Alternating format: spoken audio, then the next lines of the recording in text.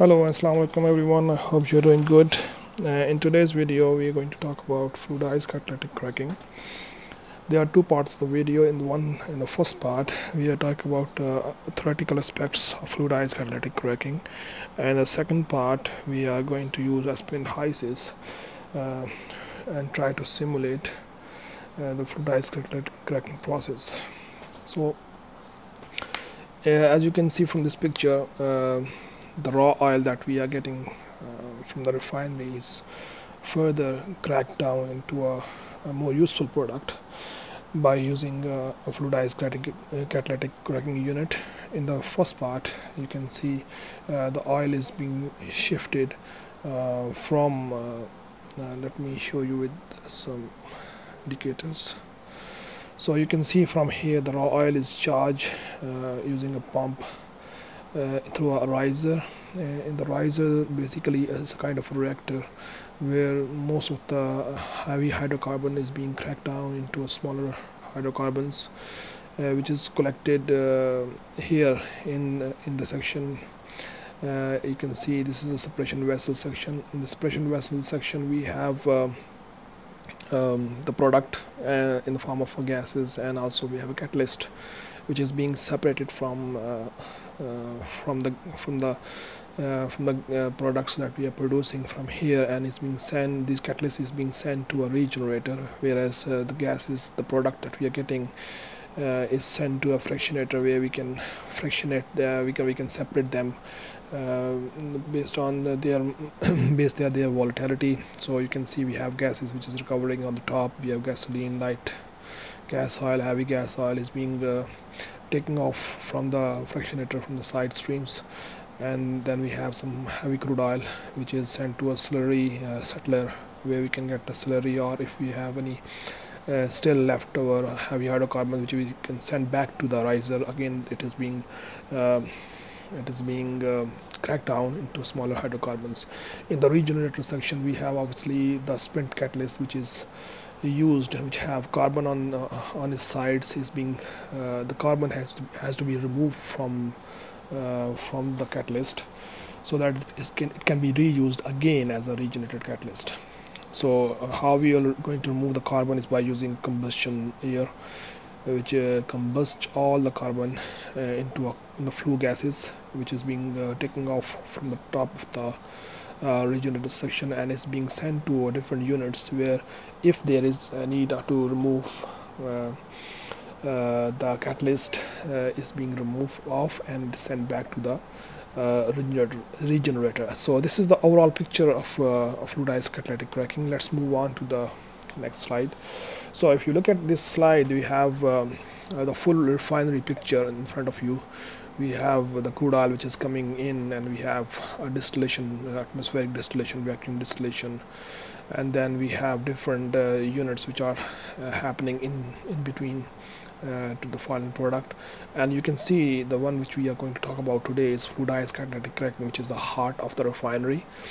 Uh, all the gas oil that we are the raw gas oil that we are getting uh, in the refinery is being transferred to the fluidized catalytic cracking where the the heavy hydrocarbons is being broken down into uh, into a, a, more useful product which is sent further uh, and and then it is being used further uh, uh, you can see here the blending agent uh, as, as, and also it's being used further to the product uh, in the different uh, different places where we need this so basically catalytic cracking is very important and the heart of the refinery uh, so let's talk about the overall overview of the catalytic cracking so as I told you before, the FCC is the heart of modern refinery.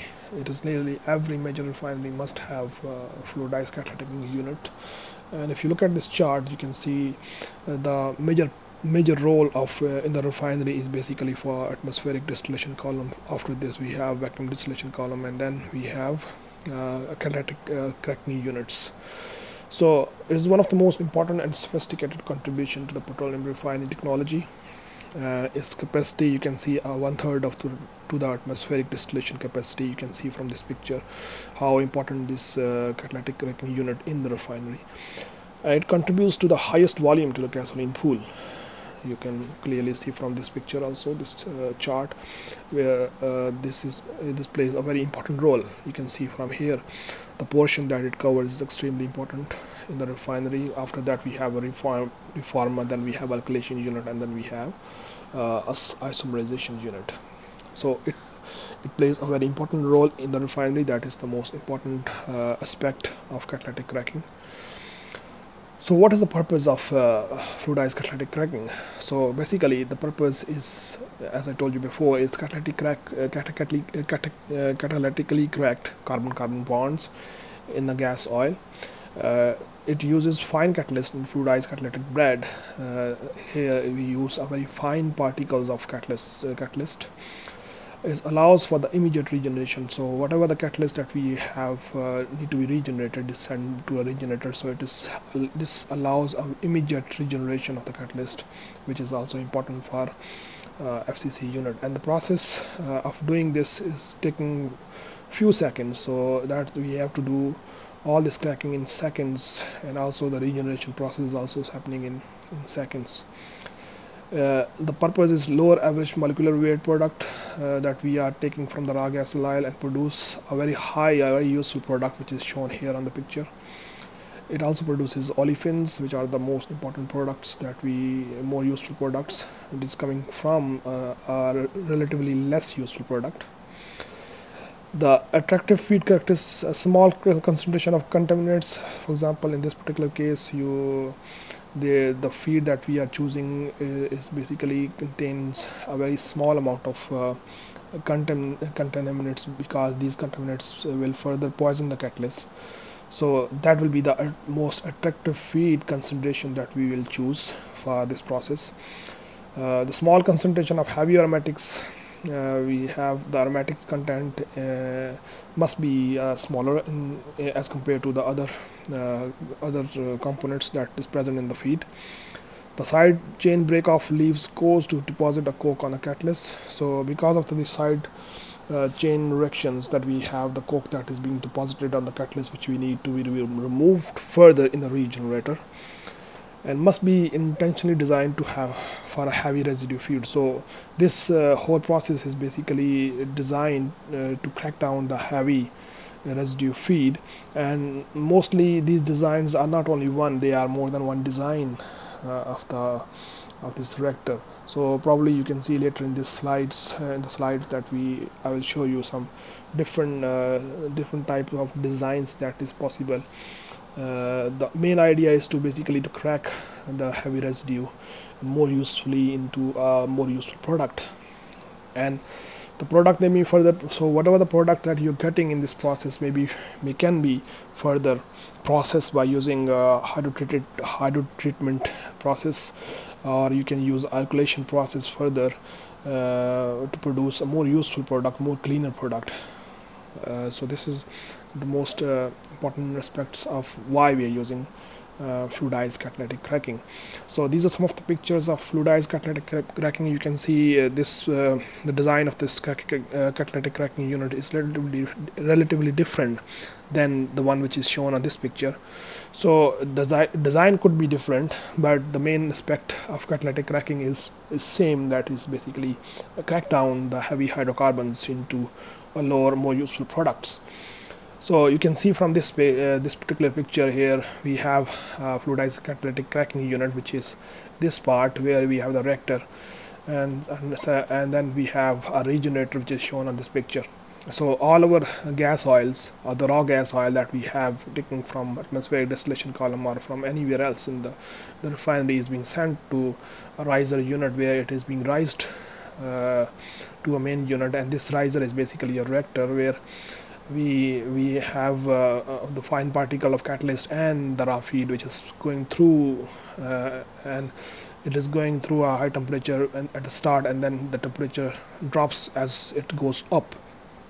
So while doing this uh, the, it is the heavy hydrocarbon is being cracked into a fine uh, before I show you that for example uh, this the feed that we are sending inside to the inside to the riser is not in the form of a liquid. It's being obviously it is here it is a form of a liquid but it is being converted into vapors. Uh, so at this point the temperature is very high so and the feed is being sent to the riser in the form of a fine uh, droplets.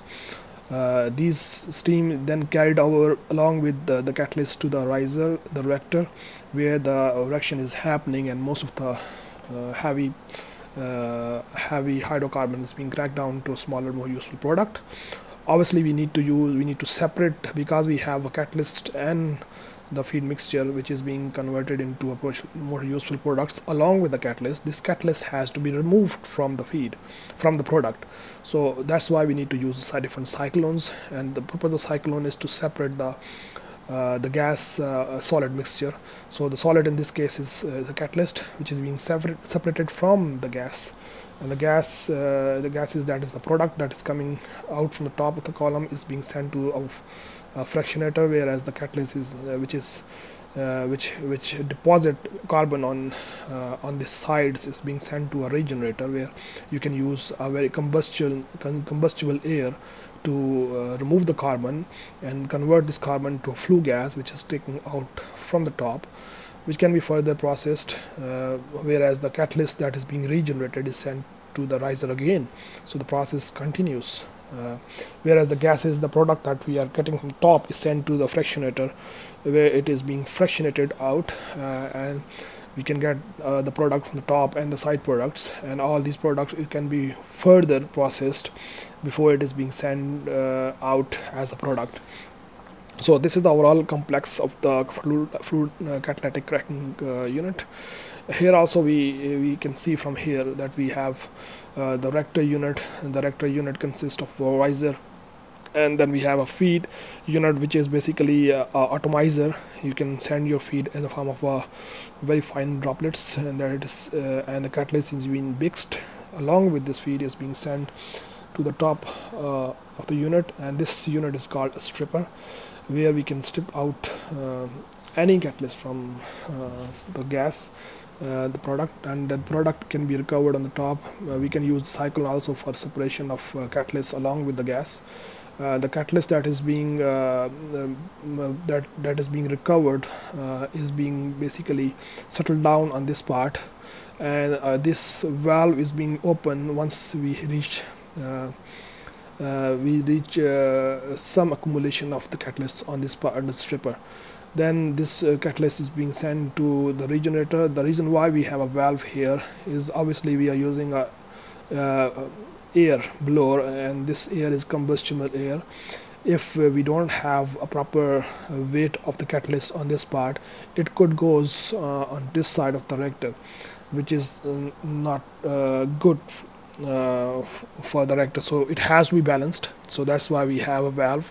So once we reach enough weight on the catalyst on this side it has been opened and it is sent to the regenerator. In the regenerator obviously we can use combustible air and we have cyclones.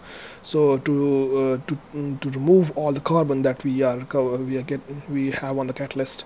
And this carbon is being converted into flue gases which are uh, NOx. And you can see we have carbon monoxide, carbon dioxide, all these gases is being recovered on the top, whereas the catalyst that is being regenerated is being again is being sent to the uh, to the riser. But we have a valve here, so once we need enough, uh, we have enough catalyst here, we can open this one. Uh, it can uh, do as a cyclic process. So this is the overall picture uh, what we are generating. You can see from here that the regenerator, the, the temperature uh, ranges in the regenerator is between 650 to 760 whereas uh, the temperature in the reactor is about 493 to 554 so there is a balance of uh, temperature on both sides. We can use these temperature balances uh, to, to, to complete the whole process. We don't require any uh, energy extra energy in this process because we can use the same energy which is uh, in, in the difference in the energy the balance in the energy we can use in the whole the two processes to balance the whole process. So so let's talk about some of the history of the uh, uh, catalytic cracking unit. So for example in this we have a cyclic fixed bed crack, uh, catalytic cracking which is commercialized in 1930 Uh, this is the first Houdry process compression catalytic cracker. Uh, startup at Sun Oils, uh, Postburg, New Jersey refinery in June 1936. The three fixed bed crackers and process 2,000 barrels per day. So they are using basically a three fixed bed reactors, and they are processing uh, 2,000 barrels of per day of, uh, of the raw feed, raw oil into this unit. Other uh, adoptees uh, for the whole this process are Sun, Gulf, Sinclair, Standards Oil of Ohio, the Texas company.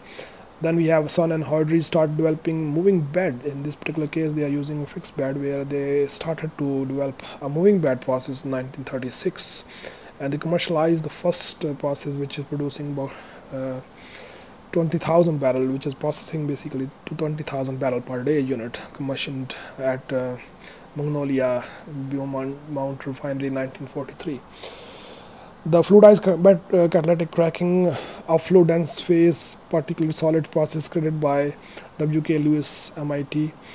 They, they are the early adoptees. Standard Oil of New Jersey, Standard Oil of Indiana, MK Curios, uh, Shell. They are basically developing this bed catalytic cracking unit.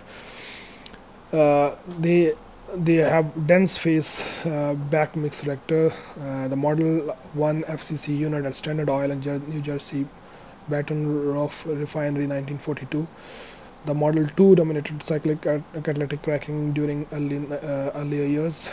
Uh, so they are developing the fluidized catalytic cracking back in, in the history. Uh, the dilute phase the riser reactor design they have different designs this is one of the design that they developed which is which consists of molecular sieve based catalyst in 1960s significant higher cracking activity and gasoline yield lower carbon on catalyst. So the the good thing about these uh, these processes they are developing very less carbon on the catalyst whereas they are uh, improving in terms of uh, cracking ability and uh, in terms of the yield that they are producing the product that they are producing which is gasoline. The plug flow uh, drastically reduce residence time of 90% of feed conversions. Uh, you can see with this kind of uh, plug flow design they uh, reduce the residence time and 90% of the feed conversion into a product more useful product which is one of the uh, the good things in dilute phase riser reactor design which is which is the one which is we are using these days. Uh, in terms of feedstock, the chemical species, in terms of chemical species consideration, uh, consideration, aromatic rings typically condense to coke. Um, the feedstock can be hydrated to reduce the aromatic content. so the feedstock that we are using in this uh, fluidized catalytic cracking before sent to the cracking unit, we can we, we can hydrotreat them which reduce the aromatic content. And as, as, I told you before the the feed content in the feed the aromatic content has to be lower in order to get more benefit benef uh, benefit from it. Otherwise uh, the process uh, could produce a lot of uh, side chain reaction which is not good for, for not for good for the catalyst and also it is a waste of energy. Uh, the amount of coke formed correlates to carbon residue of feed. Feed normally 3 to 7 percent of CCR so carbon residue you can see. Uh, catalyst sensitive to hydro atoms uh, the atoms that we have. So this catalyst that we are using here is basically very sensitive uh, uh for hydro atoms uh, uh, poisoning. The sulfur and metal nickel and vanadium and iron these are the one which is um, hydro atoms. Feed may be hydrated to reduce poison. So as i told you before the feed need to be hydrated before it is being sent to the fluidized catalytic cracking. Uh, atmospheric and vacuum gas oils are primary feeds. These are the primary feeds of this uh, FCC units. Could be routed to hydrocrackers for diesel production. Uh, not as expensive a process hydrocracking dedicated for by capacity uh, and gasoline diesel economics hydrotreated feed results is cleaner low sulfur product. So the importance of hydro treated feed is very important because it can it, it, lower down the sulfur contents. Uh, and if you lower down the sulfur content in the feed obviously the product also be having less sulfur content. If the feed if your stock not hydrotreated then the product must be separately hydrotreated to meet lower sulfur specs. So if your feed contains more sulfur content it has to be reduced earlier. Otherwise it has to be reduce later on to meet uh, the the product uh, specs that we are uh, product specs so it has to be either done before or it has to be done after. In terms of uh, FCC products the primary goal make gasoline and diesel minimize heavy fuel oil production. So that is our main concern. We need to produce more useful product which is gasoline and diesel and in, in other words we will need to minimize heavy fuel oil production. Uh, how we're going to do this? We have catalytic gasoline contributes large volume to the gasoline pool which will help us front end rich in olefins back end aromatics. So we have the product that is rich in olefins. And uh, obviously the aromatic contents are less does not contain much CH6 C7 olefins very reactive and form lighter olefins aromatics. This is our main uh, task coke production relatively small by very but very important. Obviously the coke is produced definitely produced but we need to minimize it in this process. And whatever the coke that we are producing we need to burn off in the regenerator and produce uh, provide heat for the cracking so, so whatever the uh, heat that we are producing in the crack in the regenerator unit is being used in the cracking reactions so we are not using any heat from outside source. We are using the same heat that we are producing in the regenerator and we can use it further in the cracking reaction again. So we have a very good heat balance in this particular case. Large single source of CO2 in the refinery. So this is the where we can get a lot of obviously we are getting flue gases so we can produce a lot of carbon dioxide in this refinery uh, light ends high in olefins so we are producing a very good light ends and these light ends contain a very high amount of olefins good for chemicals feedstock can recover refinery grade propylene propylene butylene.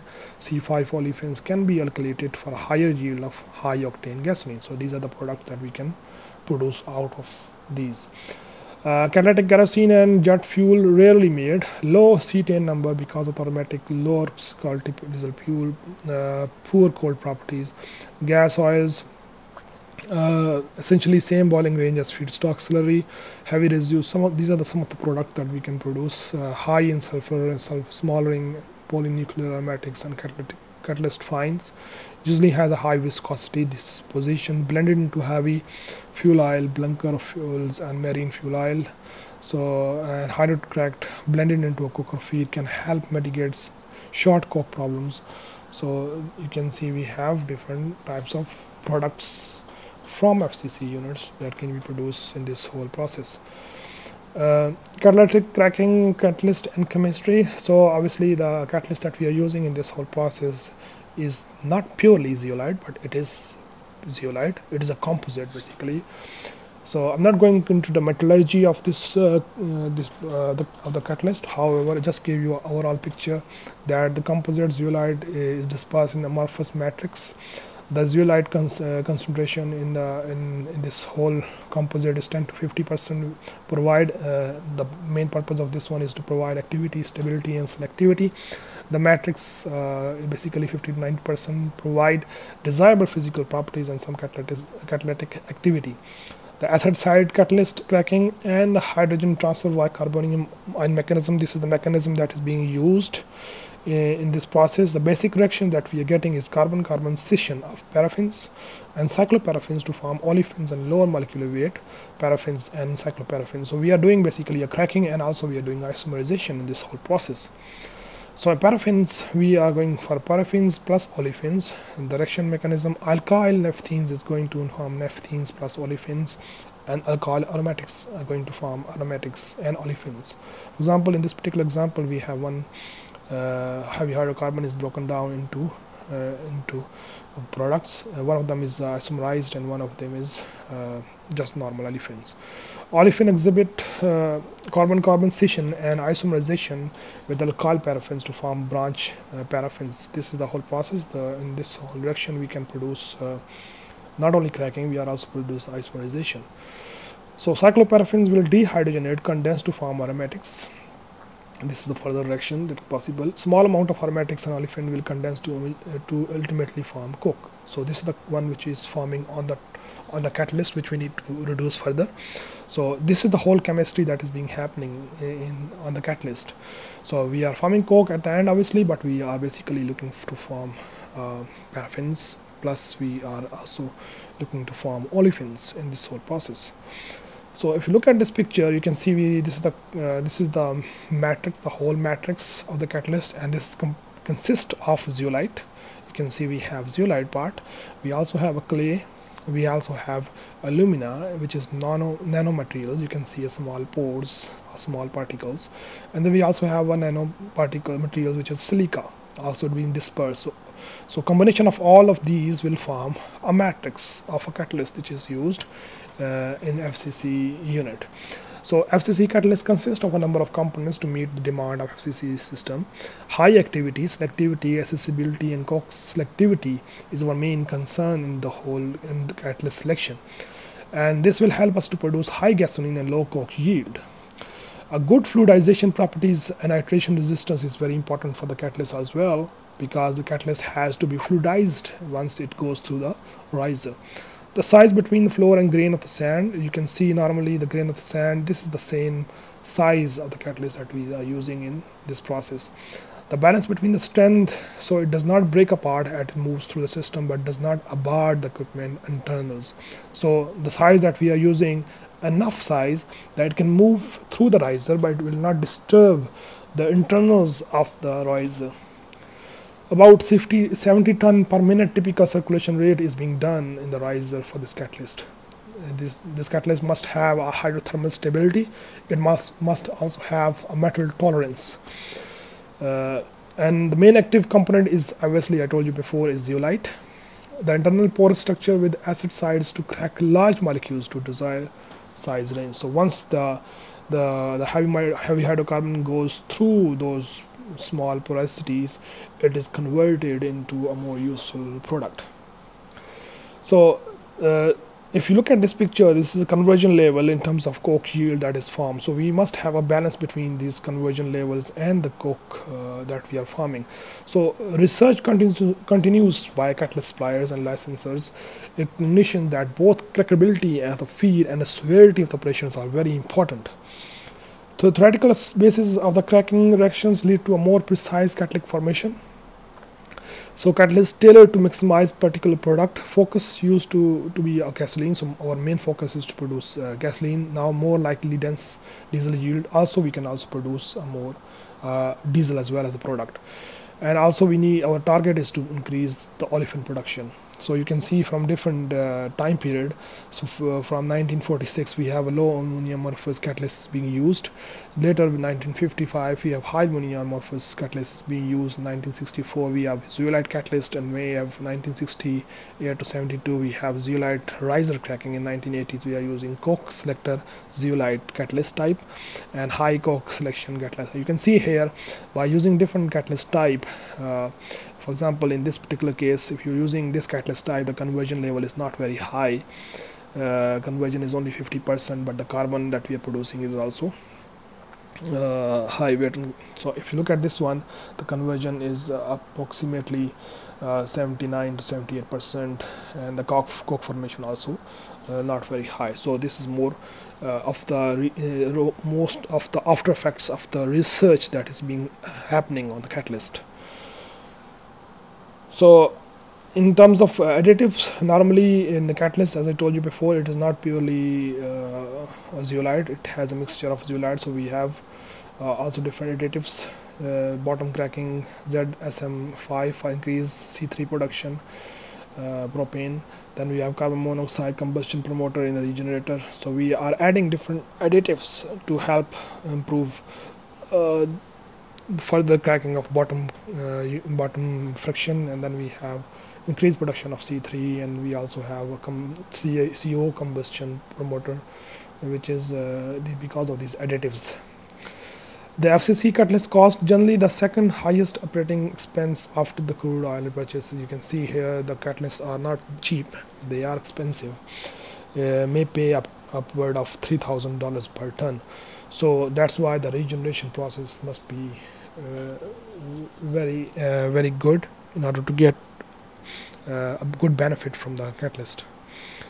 So if you look at this one uh, FCC riser and regenerator FCC riser in this particular case is basically a reactor so riser uh, inlet typically uh, the temperature of this riser is 1300 Fahrenheit and the outlet once it is terminated here the temperature drops to 950 to 1000 Fahrenheit the increased reactor temperature to increase the severity of and direction. So the increased temperature is important for the cracking.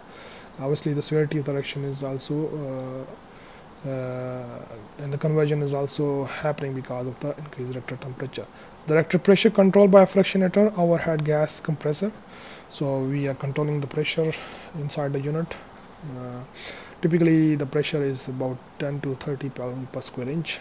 High gas velocity fluidized fine cutting. So the velocity of the gases that we that is entering here has to be very high because it has to take the catalyst with them to uh, and lift them to the top where we, we have further cracking.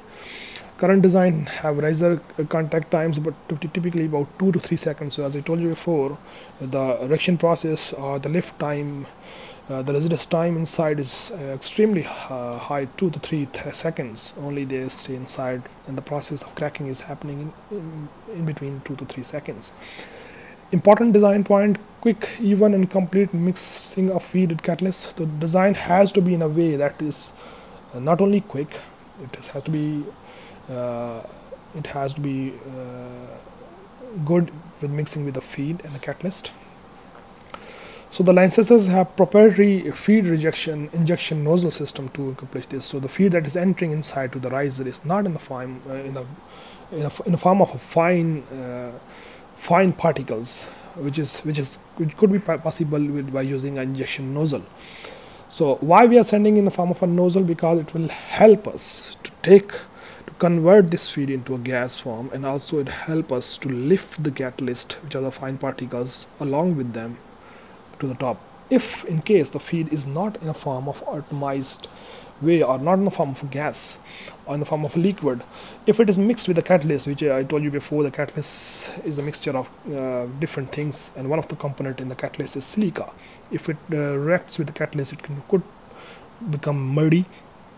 And you know silica is one of the one of the component in, in the sand so if it is a liquid form the feed is in liquid form. If it is mixed with the catalyst it can form a big solid mass which is difficult to move up. So in order to make sure that the feed is in the form of a gas we need to use atomizers and we it is high temperature so by the time it enters inside it is already in the form of fine droplets like a gas. And it can easily uh, go with the catalyst and the reaction can easily happens and crack down into a fine into a product so that's why we need to use atomized feed instead of using a, a big batch of feed for rapid vaporization. So can improve performance of existing unit because of this uh, this design. So in terms of our cyclones the cyclones as i told you before that one the one which we are using in the regenerator and also the one which we are using in the riser after the riser termination process part is basically to uh, gas solid separation in cyclone increase cross sectional area decrease gas velocity. So you can see here because of their design it help increase cross sectional area decrease gas velocity. And you already know that uh, in uh, inside uh, because of the inertia the gases have less inertia as compared to the the catalyst. So the catalyst can goes down by gravity whereas the gases can go up and can be easily removed from uh, the catalyst. Rapid separation to prevent overcracking. If you don't do this uh, separation of catalyst with the product, it can overcrack and you can produce many side reaction which you don't want in this particular stage. The regenerator operates 1200 to 1500 Fahrenheit here in the regenerator temperature limited by metallurgy or catalyst concern. So metallurgy means the catalyst is made from different components. So based on these uh, component these can components can go through different reaction which is not good for the catalyst. So that's why it is limited by the metallurgy in terms of catalyst point of view. Uh, Temperature determines whether combustion gas is prim primarily carbon, carbon monoxide or carbon dioxide. So the temperature inside the reactor must be maintained. If you don't maintain the temperature, it could form more carbon mo monoxide and rather than carbon dioxide. Partial burn under 1300 Fahrenheit, high CO2 content, outlet to carbon monoxide boiler, NHRC, heat recovery and steam generation system is being employed. Full burn if you do full burn high temperature produce very little carbon monoxide simpler waste heat recovery system. So if you want a partial combustion in this whole process then obviously uh, the process will be uh, better as compared to if you do full burning then you have a more complicated system. So uh, a temperature balance in the regenerator has to be very very important but very much precise as well so fluidized catalytic technologies that is used throughout the world as I told you before uh, there are different designs um, for the cracking units. The purpose is the main purpose is same. Uh, not very different not fully different design but somehow they are uh, different in terms of their designs. Axens residing cracking uh, Exxon, Mob Exxon Mobil Research and Engineering they produce catalytic cracking unit. They are using the same cracking units whereas Haldor Topsoe yes they produce fluidized cracking unit and they also have a pre-treatment units along with the catalytic cracking. Because the feed that we are using must uh, be pure without uh, aromatics. It must be clean before it is sent to the fluidized catalytic cracking unit. Then we have KBR which is using fluid, fluid catalytic cracking high olefin content uh, and residing cracking so they're producing very high olefin contents Lummus technology fluid catalytic cracking for maximum olefin. They're using this one. Shaw fluid catalytic cracking deep catalytic cracking cracking reside cracking. Shell global uh, solution they produce. They are using catalytic cracking and UOP they are also using uh, catalytic cracking. And these are the, some different technologies that is used in by the different providers. So as I told you before there are many different uh, design aspects of the FCC unit you can see we have this particular design. We also have this kind of a design unit. We also have uh, this one. And similarly we have uh, different unit designs and you can see uh, their uh, designs a little bit different but the main purpose is basically to get cracking and as well, uh, also to get regeneration part.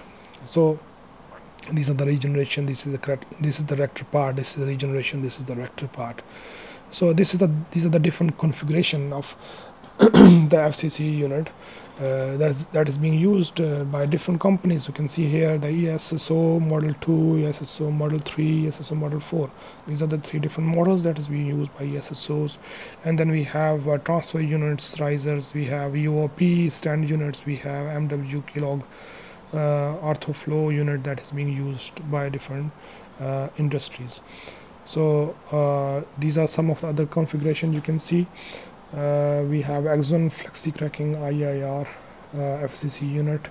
And this is uh, this is mostly being used throughout the world. And then we have MW Kellogg design which is uh, slightly different than this design but is the main purpose eh, obviously is the same. So I hope you uh, get um, the basic understanding of what is FCC units in the next part of the video we are going to use fluidized catalytic cracking inside Aspen HYSYS and we are we are trying to see how we can use Aspen HYSYS to simulate uh, the fluidized catalytic cracking. So thank you very much for this part. Uh, let's jump into the next part